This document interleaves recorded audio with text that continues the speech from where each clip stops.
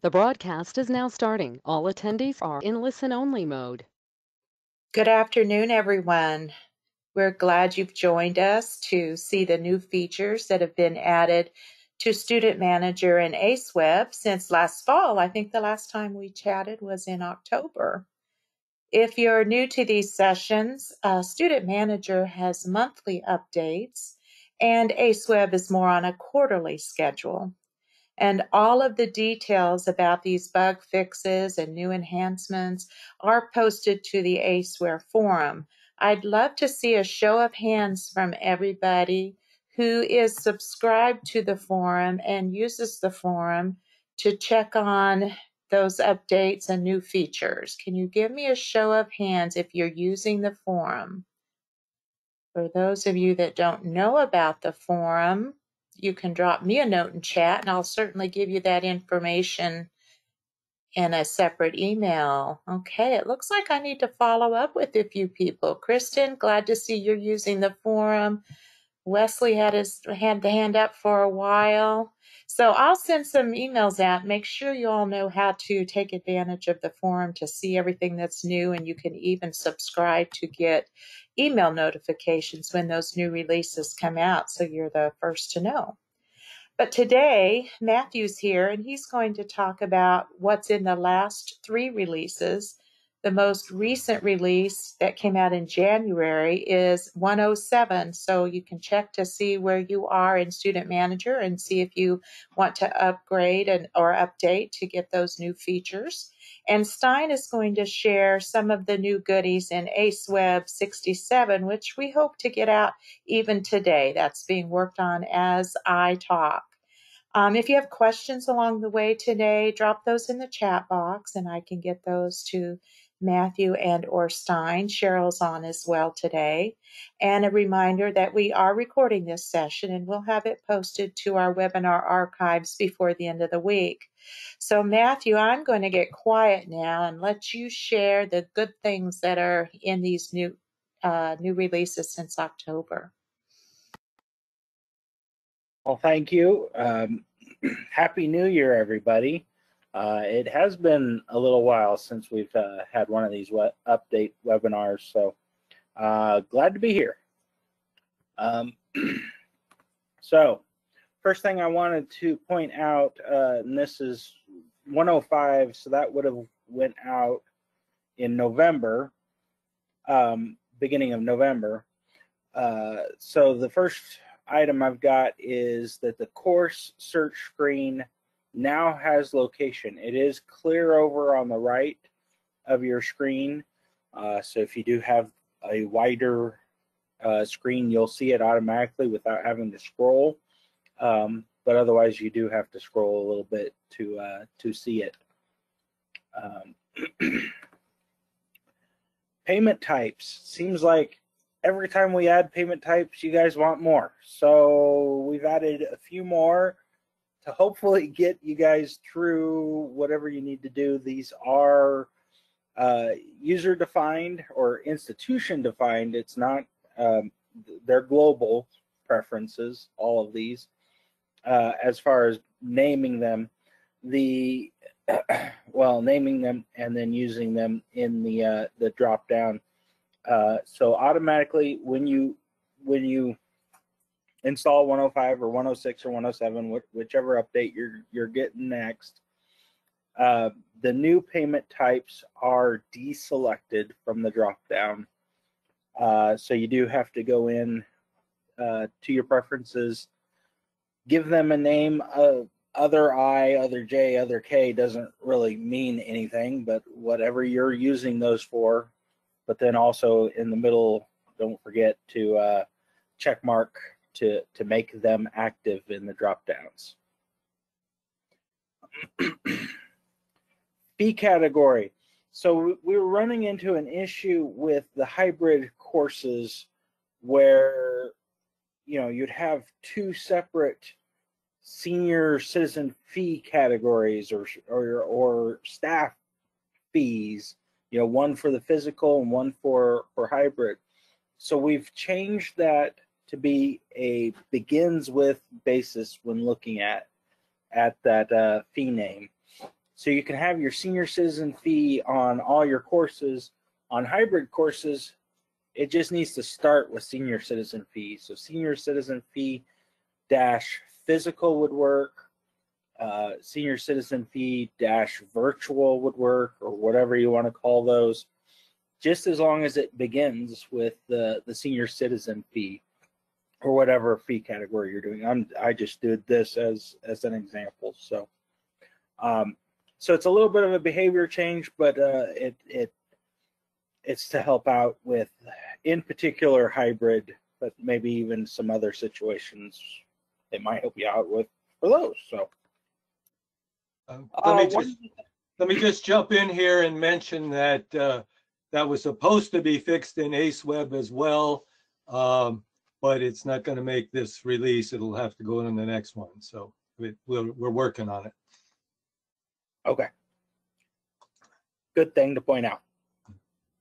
Uh, the next thing uh, is I've totally revamped the WYSIWYG HTML editor in Student Manager. So the different places, especially with um, your catalog codes, uh, this is an example of a catalog description uh, being edited here.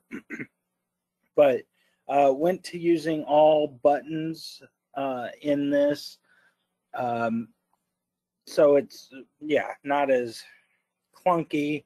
All the buttons are are uh, you know just like you would see in Word and and uh, many of your other applications. Um, so you you get the gist of it from just the picture. Uh, format, color, and font; those have been switched to drop downs. Before they were a button and then you would have to choose which you wanted to do. Actually, I don't even think format was a choice, but uh, there are more options here. Excuse me. Uh, the T capital T X button, that's a clear formatting. Uh, I just want to make sure you know, though, select a little bit more than what's uh, needing to be reformatted. Uh, like especially if it's a color or something like that, select a little bit more when you're doing the the clear formatting uh, because it's tricky sometimes to get all that HTML uh, cleared out of that section. But uh, the undo button uh, has been there for quite a while. I would definitely, if you you know the very last thing you did was a mistake, hit that undo button rather than trying to mess with that the uh, clear formatting. Um, but yeah, there are a few other new things that have been added here.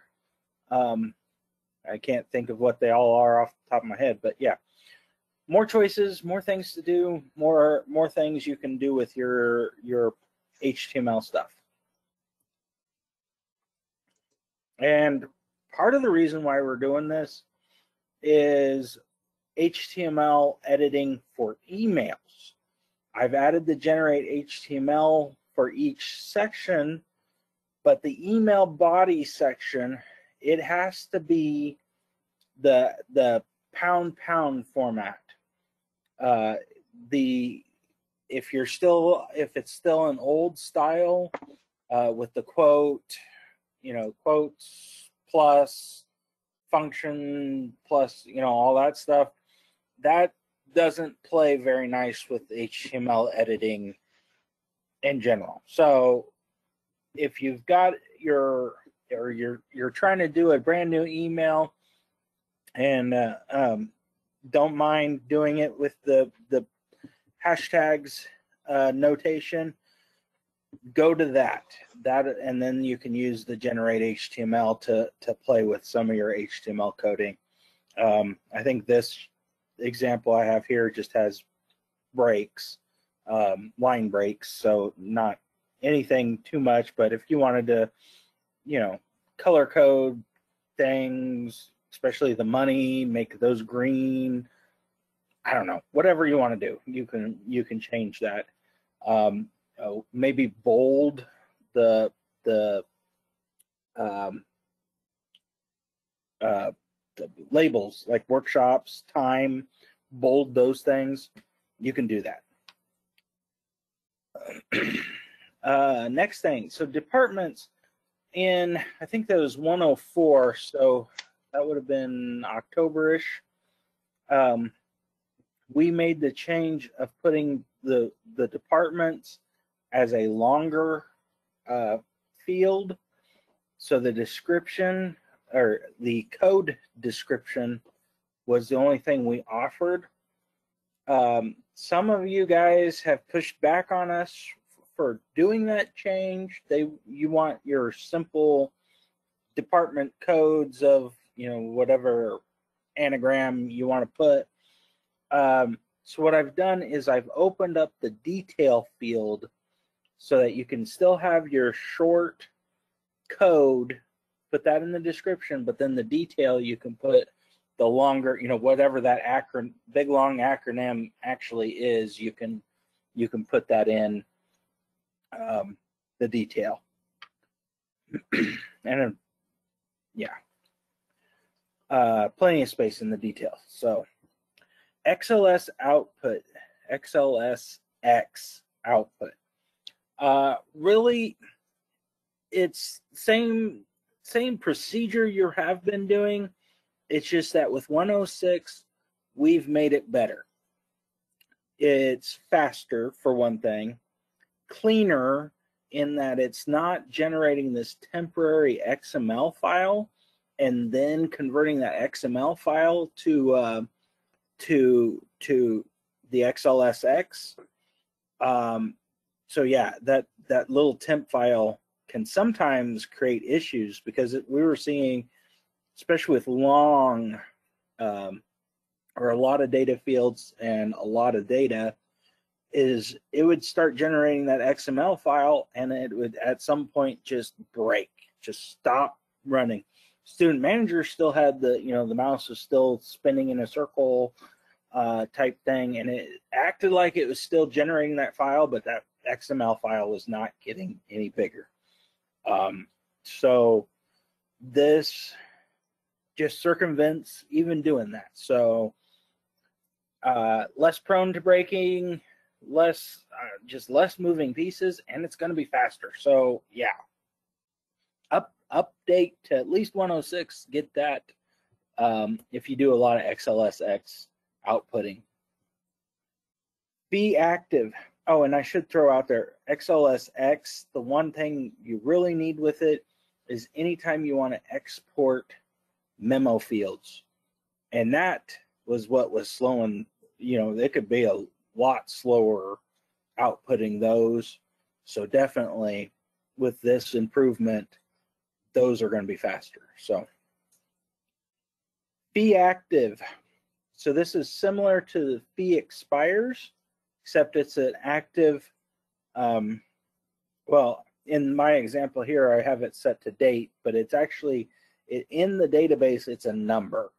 So that's why you see a 1994 date on this course. It's the number of days before the, the begin date, and I've defaulted every single course to have 9999 uh, as that number of days. So that's that's why you see you might see a whole bunch of 1994 dates. Really, as long as that active date is today or in the past, that's going to have that fee show up.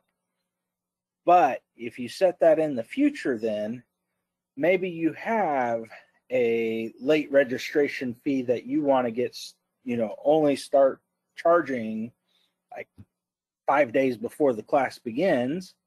So you can set, you know, this, I said, use the same settings here on the, the, the slide here.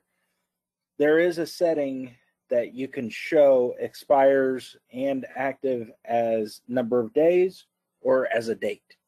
So I've got it set as a date. So, um, so put in, you know, let's say that this course started August 11th, 2021, put in August, um, August 6th, 2021. Uh, so you're charging five days before uh, that late fee. Or, you know, you can do this for other things. Maybe you want a specific membership, um, but they they can only come in. Maybe they want the members to be from the very beginning, you know, have have their registration. Only members can register starting today, but then your other your registration fee, stat fee, early bird, and all those others, those start in the future. So you could do that, have those be active later, and that way your members get this other perk of they get to come in first. You know, things like that. Um, I'm sure there's other things you can do with this, but those are the couple of scenarios that come to my mind uh, where you would want to use that fee active date or days um, going forward. Catch all. So this is just a couple of things uh, we've noticed just kind of bizarrely in a couple of databases where workshop individual codes um, had duplicates so needed a way to clean those up and so added those to the catch-all. And then duplicate room use. Not sure at all how the heck these people were able to do this but um anyway we ran into a couple of scenarios there um hopefully every time you run this you see a zero next to those two things but if not hey we've got the tool that automatically is cleaning those up so.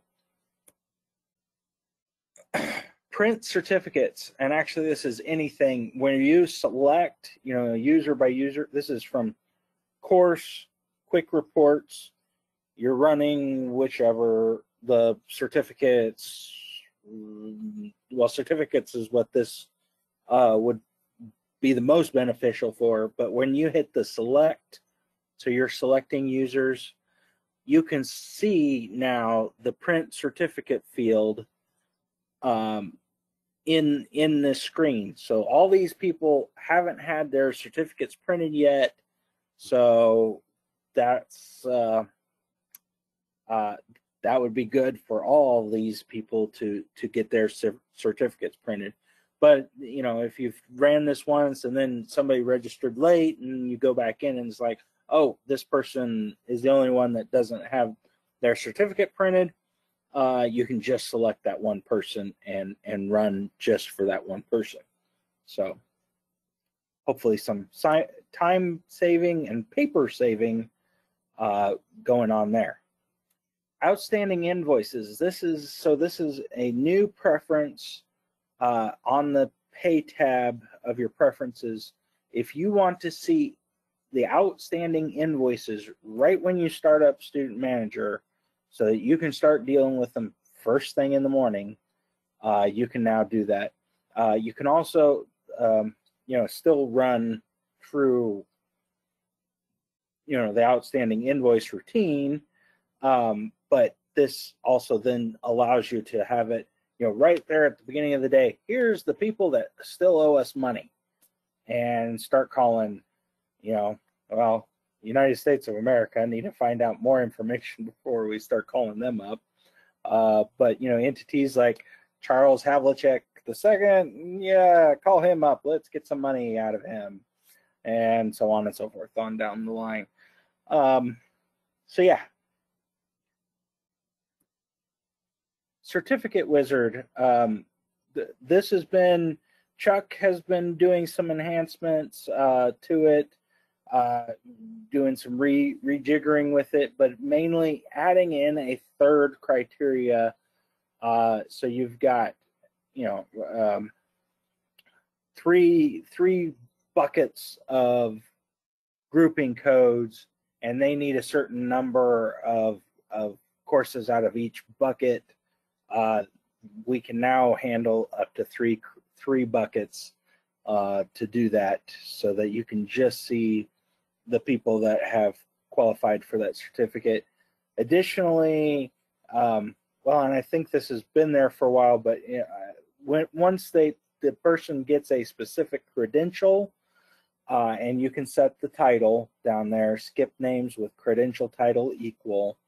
Uh, so you give them that credential of this certificate, then it'll skip showing those people in the future. So uh, you're not printing, you know, year after year, more and more, you know, repeats of of people because you've assigned that credential to those people, and they no longer get get uh, shown on this report. So.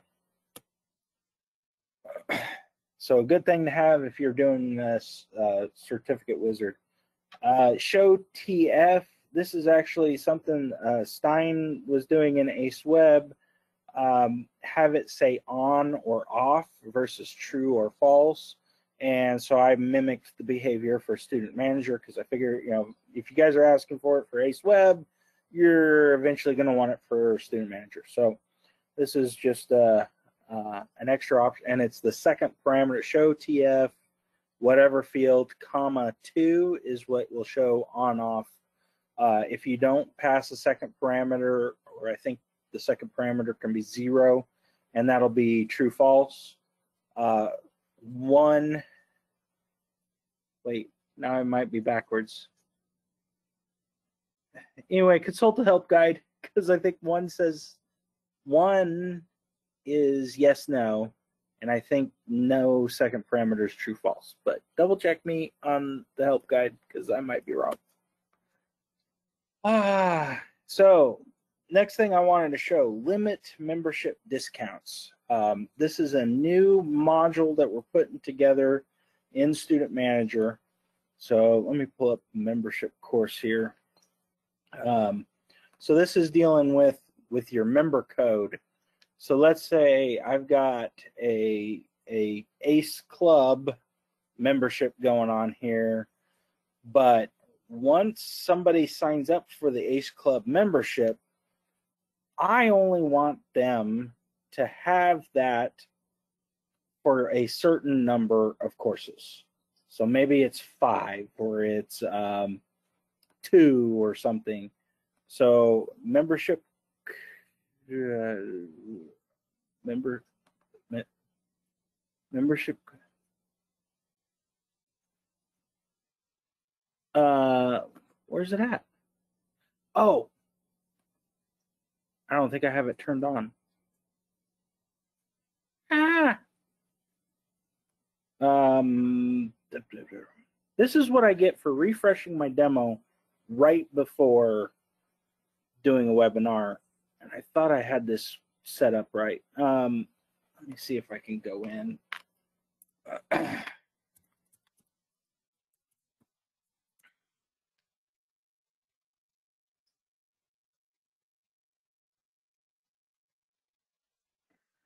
All right. You guys still see my screen, don't you? See a whole bunch of hoopla going on here. Yes, we're seeing Um, you. Okay, great. So add edit codes, and if I go here to member codes, yeah, this is the thing. Max use per person. So I could set this to five. I for testing purposes, I only had it set at one. But anyway, for you could have five, ten, however many uses they want. So they are limited to only being able to use this code, this membership that many times. So they can only enroll in 10 courses with this discount. After those 10 courses, they have to pay the regular fee, or maybe they've got another membership bundle out there that they can sign up for. So it kind of kind of gives them or it kind of gives you an ability to to set a, an upper limit on that um, so that they're not abusing it um, you know, taking a hundred courses and getting a discount for all hundred courses, and you're you're losing money at that point.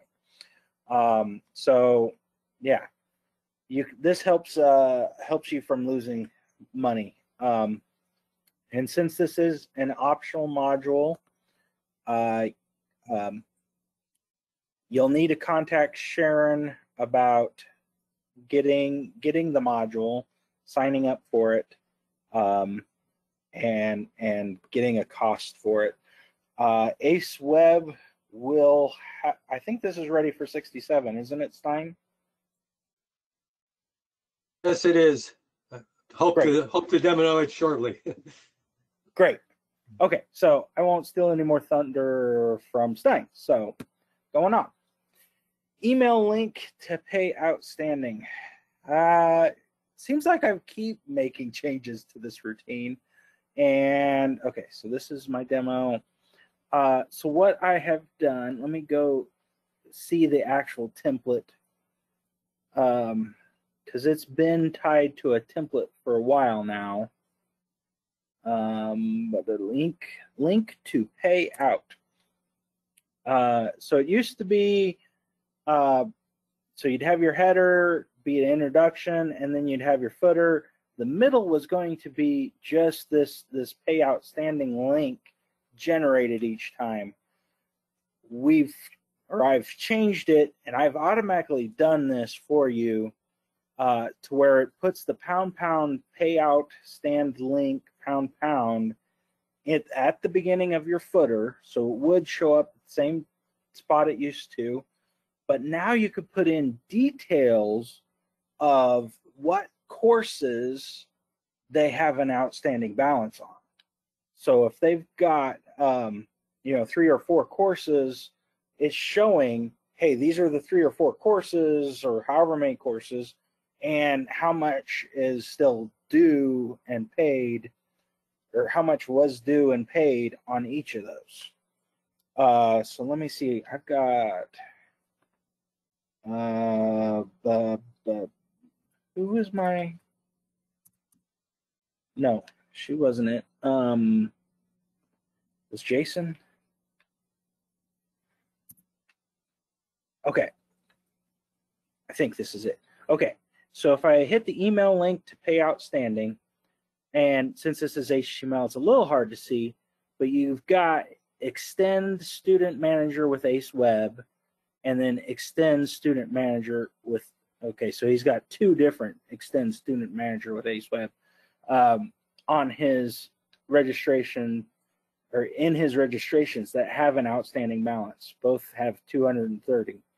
Uh, so you can send that, and then of course the HTML gets properly formatted on in their um, um, email client. But so if I hit courses taken, yeah. So all these courses with the the uh, total due, total paid, offsetting each other aren't in there. And oh, and I guess I have it in. So I have a begin date here of June of 2022. That didn't show up in in the list because you know that's not actually outstanding quite yet, but he does still owe on that. But free courses don't show up, the ones that are totally paid, and future courses don't show up in that. So it's only the outstanding um, uh, balances show up.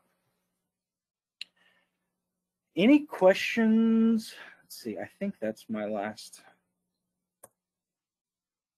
Any questions? I'm not seeing any questions, but lots of good work, Matthew. I think that the out, pay outstanding invoices link is is amazing, and thanks for adding some future some enhancements to that to you know add some more information. Um, do ask questions, folks, if you have them. I'm going to turn presentation rights over to Stein, and while I do that, I'm going to give a shout out to ICP, the International Center for Photography. They are have representation here today, and they are the ones who were asking about adding some limits to the membership discounts. And so that module was was built with them in mind, and we're going to see if any of other, if the rest of you can benefit from that as well. But so if you have great ideas or new things you want in your program, certainly let us know because we are glad to work with you and see if others in our customer list might appreciate those items as well. So Stein, I'm not seeing any additional questions right now. You can tell us what's coming out in 67, which hopefully releases today. Okay, um, you're seeing uh, a screen with a uh, uh, test Aceware site here saying your logo at the top. We are. Thank you. Okay. All right. Um, we got a few uh, more major enhancements, which I'll try to walk through, and then a, then a whole slew of minor ones, which we'll maybe just mention a, a couple of those. Um, all right, uh, we have uh, extended some proxy registration support to uh, a couple of our uh, peripheral pages here. Um, I'm going to log in here. And uh, if we go to uh, my courses and then the registration history page, uh, we've got some various options of things that we can do with courses that uh, either upcoming or have been taken. Uh, we've always had these options down here. You can look at stuff, obviously, that you've enrolled in for yourself. But if you have made proxy registrations for someone else, maybe um, you you know proxy reg for your kids, or uh, you're the HR person at the company and you've done proxy regs for the other employees, uh, and you want to look at those, you can see those by either going to all registrations. If you do all registrations, you'll get yours and you'll see the proxy people that you put uh, uh, registered for. And that's been, uh, we've had that for quite a while. But some of these other options over here, uh, seeing your payments in the past, um, oh, let's see, let's go back to listing all. Um, actually, it did show if you wanted to, uh, you, it did show the payments you've made but this option over here to print receipts was kind of a um, uh, a bogus button because it wouldn't really print the receipt for your proxy registrations. It made you think you could, but you couldn't. And it now does. If I hit this, I should get a receipt for Bill Smith's um, proxy and um, here are Bill Smith's registration and here it is paid up receipt. So, um, so that now works. And then in the, uh, a couple of the other things we have over here are the AWS Storm options, the certificates and transcript options. Uh, the certificates uh, in the past did not show the proxies. It uh, it would only if you had certificates for courses enabled for courses you'd taken, it would show them. Actually, I don't have any here, but Nancy and Bill, my proxies, both do. So I can go over here and grab the certificate and which of course, if you had registered your kids for the swimming class and they passed and you wanted to get their certificate, you'd really like to just be able to go online and do it, which you can now. Uh, so uh, proxies work uh, for the certificates and then for the transcripts uh, transcripts you can of course get your own transcript that you've always been able to do if you try to get all the transcripts that's a little tricky because our transcript routine is set up to generate just a single transcript at a time. However, uh, you can go down here and say registrations I entered for others, and you now get a drop down which shows your proxies, and you can pick, you know, one of the proxies and then go for their transcript. And hopefully we're going to get out of this, end up getting Bill's transcript, and here it is. So uh, that now is has been uh, extended, both the certificates and transcripts. Uh, we have the options as well as the receipts uh, will work with proxy registrations. So, okay, um, now the uh, the thing of uh, allowing a activation date for fees. Um, we're going to go over here and uh, see if we can pull up a course that demonstrates that. Um, let's happens to be one down at the bottom here, and it's one of these processing credit cards, I believe this one. All right, so if we go to the processing credit card course, we've had set up one of those fees that has uh, an activation date coming up in the future, namely uh, next Monday. And you'll notice here, registration fee is active, that's fine, but the special staff fee is not going to kick in until Monday. And it shows you that it's there, it shows you it's coming, but you can't actually select yet. so uh, that feature does work on the uh, on the ACE website. Um, as uh, as I mentioned before, the other feature that we hope to have in here, but it uh, ran into some uh, issues at the last minute, was the uh, issue with uh, the uh, uh, special um, fee options like senior fees, where they would, if you have a single one, it's fine, but if you have multiple ones, still isn't quite working right in ACEweb, so that will be coming. Okay, then the membership limits things. Um, So for that, uh, I'm gonna need to go back here and um, grab a course. Why didn't one come up? Um, My program, okay. um, Let's see, memberships. So I'm going to need to have a membership in order to demonstrate this. So I'm going to enroll myself in the ACE Club. So I'm going to save that to the cart. And then I'm going to add more courses. Um, I believe we've got under the ACEware users a couple of options here that um, are, are special membership courses. Uh, What about mastering? February one, What? the February one. Yeah.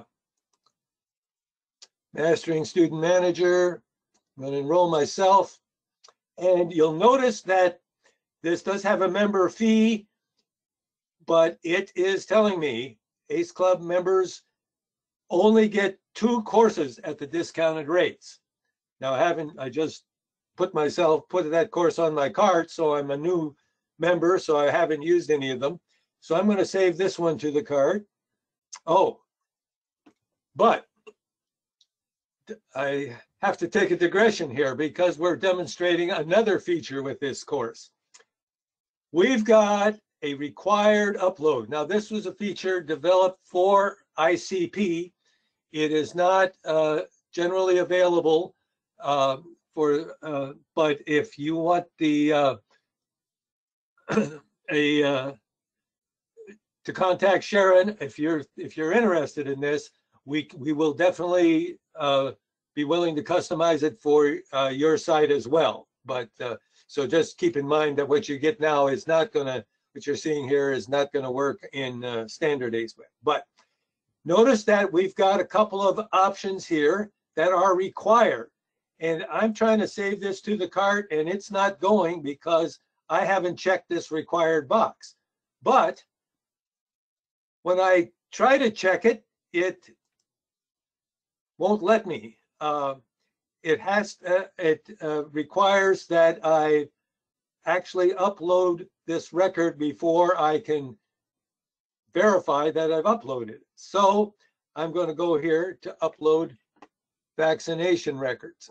And I get a separate page and an option, a page, uh, a sequence here to uh, actually allow uploading. So I'm going to choose the file I want to upload.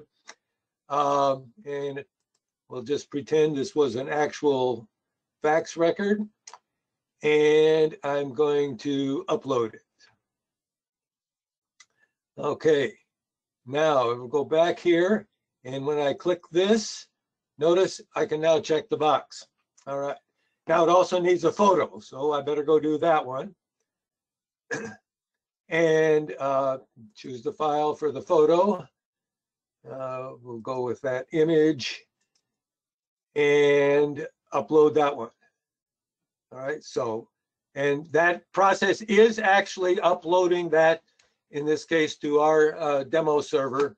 Uh, And in your, in a production case, it will go on to uh, the server in your uh, student manager folder under a name, under the subfolder name docs. And then again, that will have subfolders uh, for each of your, with, uh, based on the user's name ID. And in that folder, you'll find their uploads. So it's up there. We'll go back to the enrollment card. And hopefully, yes, we can check the box now. And now I can save it to the cart. All Those, right. those documents are also available in the name docs area under the name record too, right? Uh, well, it's the name docs and then the subfolder with the name ID. And But- then in that folder, right?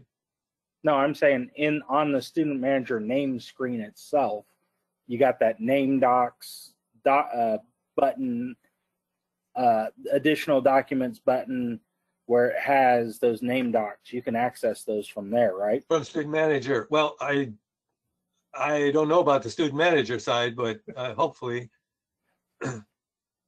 It should if we're work, if we got this working right.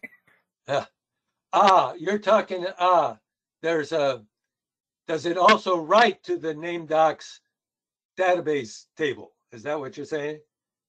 Right. Right, yes, it does, it does, I'm sorry.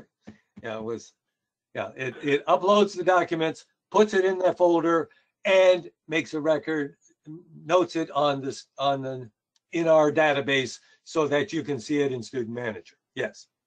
Good, good point. Okay, so, uh, let's see, we're gonna add, uh, another course here. Um, let's see, I've got one called, um, extend student manager. Again, we'll go with the February course, enroll ourselves. And um, note here, now we're entitled to the membership rate for just one because we've already got that one other one on the cart. And uh, also note that the upload is noted. We did the upload, so these are pre-checked. We don't have to go through this again. So we're going to save that to cart. And we're going to try to add just one more just for the heck of it. And uh, got one called processing. ACEware users down to the processing and again, the February course. And it lets us register, but we don't get that member discount this time. You've already used the discounts. Please choose a different fee. So if I want to take this one, I'm gonna have to pay that extra twenty-five bucks, so.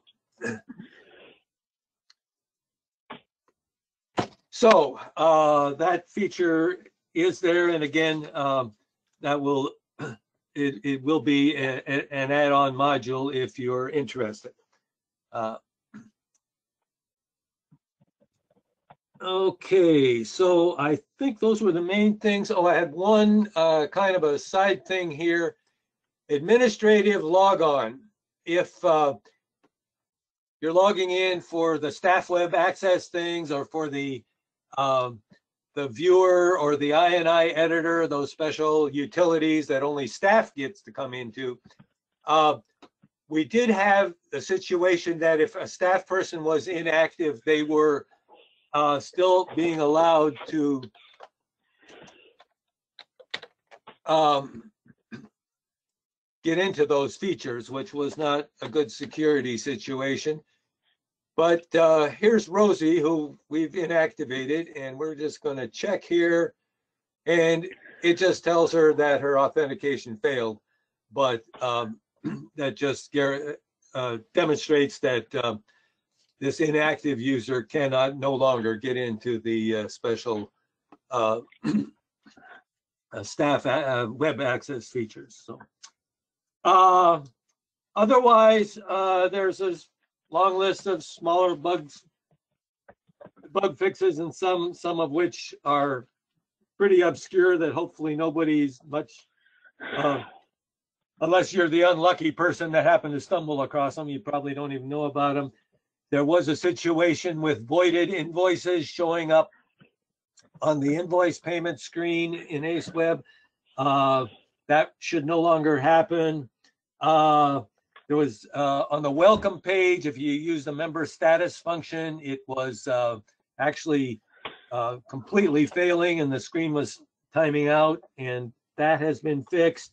Uh, unlimited UDFs, the function that demonstrates those, we were having an issue in certain cases, I believe under, this was under SQL, where the UDF was simply not going up and that supposedly works. Uh, we fixed some issues with, or um, at least made it easier to handle cases where UUDFs might appear as truncated. Um, you just see part of the, the string.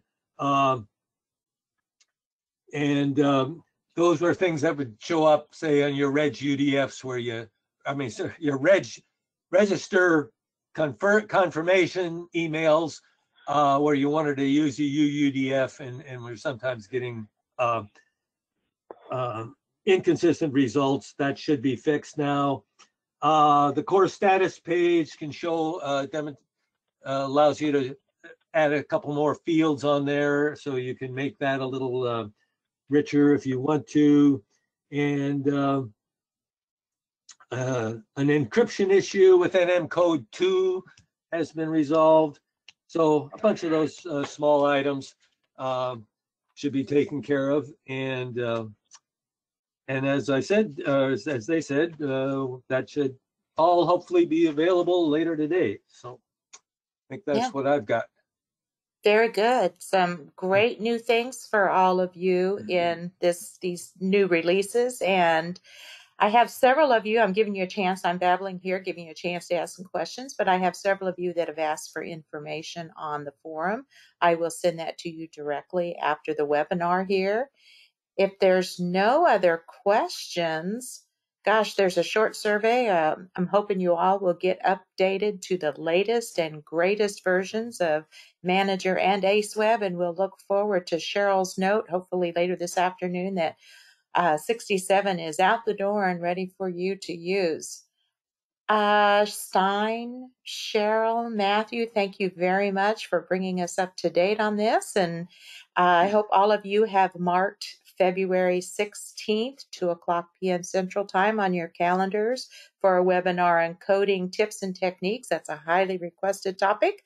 And so I know we will talk to you soon and see you soon. With that, we'll say goodbye. Have a great afternoon and great weekend coming up, everybody.